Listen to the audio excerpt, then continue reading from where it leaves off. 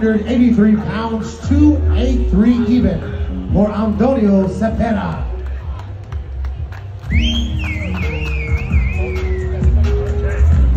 And now to the scale, the undefeated fighter, Jarrell Big Baby Hoover.